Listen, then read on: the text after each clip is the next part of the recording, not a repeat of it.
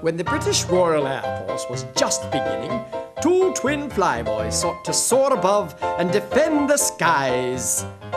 But their first flight was quite a disaster, and they continued to crash, and crash, and crash, and of course, crash. Could it be possible that God would now use their special talents in the remotest place on earth? Journey with us now to their island getaway to see what has become of the long lost Banzai brothers and see the wonders that God can do.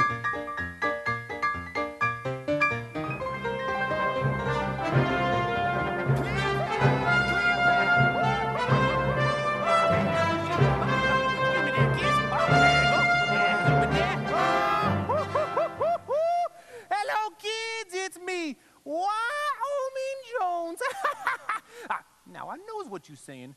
Who is you, Mr. Wyoming Jones? Well, I'll tell you. Now, you know them Bonsais is putting together a rescue team, right? And that Mumsy, she is an expert wilderness cook. Yes, I'm a- and those Bonsai brothers, ooh, they is expert pilots. And you know Popsy, you know how he loves to wrestle them bad guys and beasties. Woo!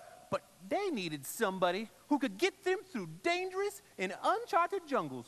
And that's why they hired me, Wyoming Jones, Jungle Explorer. now, let me tell you something. There are a couple secrets to rescuing lost people, okay? Now, number two, uh, wait, uh, number one, a person must realize that they is lost and need to be rescued. Okay, yeah, now, now, number three, wait, number two, if you can't see a clear path, walk toward the light. Okay, now, now let me show y'all something here. Okay, now let's pretend that we is lost in a forest or a jungle. Okay, now. Oh my. Well, um, uh, sometimes uh, when you're in the jungle, uh, there are vines and branches and trees in the way, and uh, it can get kind of scary dark. But if you look up to the sun, if up to the sun and send a signal, you can be rescued. Ooh, that reminds me of Jesus. Oh, no, no, no, no. Jesus was never lost, but he taught us to look to the light and be rescued. Ah, now I'll show you here. Hold on a second. Let me get the Bible here. Here we go. I believe in miracles. All right, all right. Here we go. Uh, let's see here. Ah, ah, now here it is. Uh, now, in this story, Jesus healed a man who was born blind. Now, now, now, it's important to realize that God never makes a mistake, okay? Now, Jesus said this man was born blind so God's work could be shown in his life. Now, here's what Jesus did. Here we go. Now, Jesus spit on the ground and made some mud and put it on the man's eyes and told him to wash it off in the pool of Siloam. And when he washed off the mud, the man was healed and he could see. Woo, it was a miracle. Oh, now, now, you might think that everyone was excited about the miracle that Jesus did.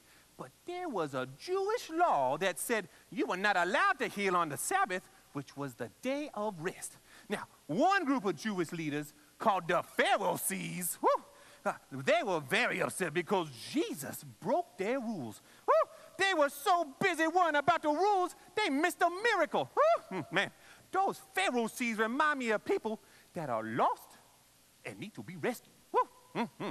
Now, now, they were too proud to look up to the light, but the blind man was about to see the light for sure.